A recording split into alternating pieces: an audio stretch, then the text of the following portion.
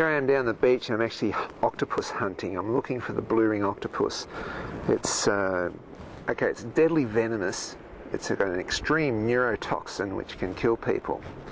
But hardly anybody ever gets bitten because they're so hard to find. In fact, I probably won't even find one today. But along the way, I'm going to find some interesting animals. Uh, I'm going to find some of my favourite animals here anyway.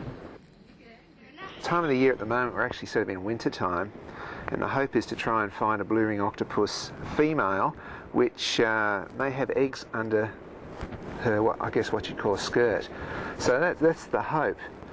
But uh, as I'm down here, there's so many beautiful animals. Every time you lift up a rock, it's just teeming with wildlife.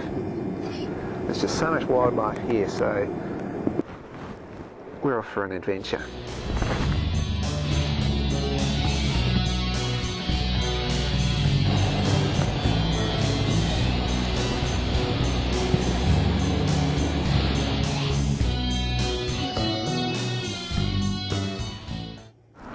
Looks like I got a lump of seaweed, but this is actually what we call a spider crab or a decorated spider crab. Some people just call them the decorated crab. And it's just one of my favourite, all-time favourite animals. It's gorgeous, isn't it, eh? Now, beautiful fine little nippers here. I've actually, when I was uh, when I was a teenager, I used to come down and catch these guys, keep them in an aquarium as a pet, and I could watch them. And what we've got here this, this sort of furriness there is just like Velcro.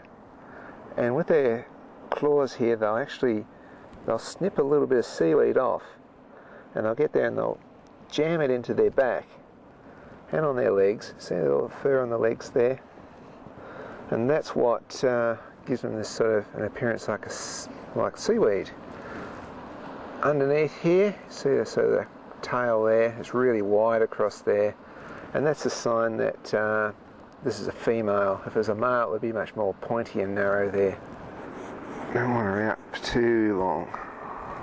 Come on. I'll be lucky to get anything here. Come on, there we go. Stay still.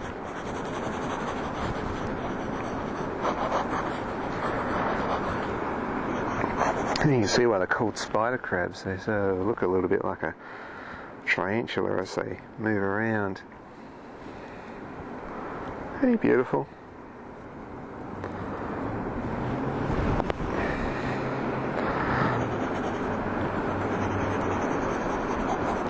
Alright.